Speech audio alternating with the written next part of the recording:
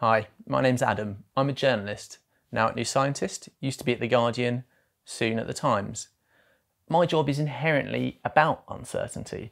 The job of a reporter is to go and find out what's happening in the world. By definition, it's not always certain what we'll find. For me, that's the joy of the job, not being certain about what you'll discover on any given day.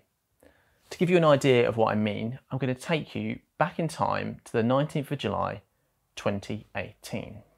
At the time, there was a lot of debate in the UK about switching to electric cars.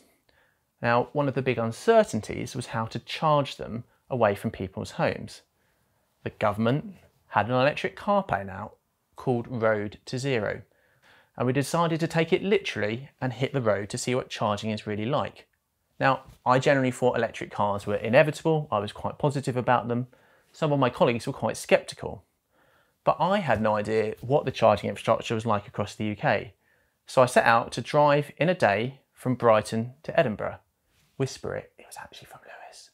The idea was to sample different charger types rather than just drive in a straight line using Tesla's dedicated network. Now, there was a lot of uncertainty in this journey. I wasn't even sure how long it would take because different chargers take different times to top up the car. The first charge I visited at Shell petrol station, very glamorously, didn't work. There was a helpline, they couldn't help. The garage staff, they couldn't help. So I set off uncertain about the car's range. My next bout of uncertainty ended with the equivalent of a sat-nav guiding you into a lake. I don't know if you've ever done that and followed a sat-nav literally. That's because the maps and the postcodes weren't perfect for chargers back then. They weren't even on Google Maps like they are today. So I ended up down a long, dusty dirt road in Doncaster with no charger.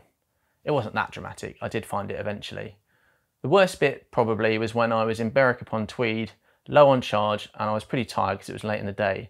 I spent about half an hour searching for a charger that was reportedly in a maternity ward car park.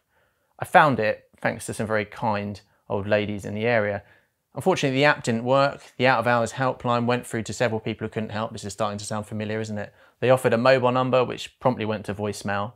So I ended up in Edinburgh at shortly before 10 pm, having left the house about 5.30 in the morning. I had 72 miles left for the return journey the next day. The punchline was that the hotel's single charging space had been blocked by a big diesel car. Now, for me, this journey was a real eye-opener. You needed a ridiculous amount of apps. Contactless payments hardly worked for any of these different charging networks. It's a different story on that today. The number of broken or unsupported chargers was a real issue. That's also improved judging from the data that the networks publish. Now, the uncertainty in this case was fine for me.